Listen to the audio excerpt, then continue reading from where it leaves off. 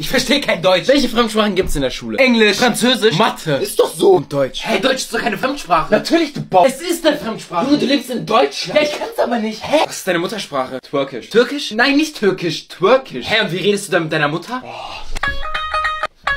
Ey, das Schulsystem, na ehrlich. Deutschland, ich will Deutsch lernen. Keine Gedichtsanalysen. Ich sehe nur Analyse, Analyse. Analyse. Bro, was will ich mit Metaphern? So, Wer ist das? in der Grundschule. Singen wir Lieder und machen das Alphabet. Okay, Kinder, alle zusammen. Ja? I steht für Igel, H steht für Haus. Äh, Haus. Was denn? Kahn raus. Okay. Da kommt Grammatik. Ich check Artikel immer noch nicht. Wie viele haben wir? Oh Gott, oh Gott, oh Gott. Englisch macht sich das Leben einfach. The.